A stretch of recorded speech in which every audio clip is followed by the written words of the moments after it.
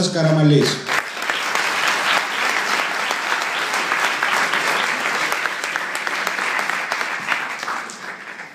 Στο ψηφοδέλτιο της Β' Περιφέρειας ηγείται ο σημερινός και αυριανός Πρωθυπουργός της χώρας, ο Πρόεδρος της Νέας Δημοκρατίας, Αντώνης Σαμαράς, που επέλεξε να συμβολήσει με αυτόν τον τρόπο το ενδιαφέρον του για τη Μακεδονία και τη Βόρειο Ελλάδα. Φίλες και φίλοι, δεν χρειάζεται να υπογραμμίσω τι διακυβεύεται σε αυτή την εκλογική αναμέτρηση για τον τόπο.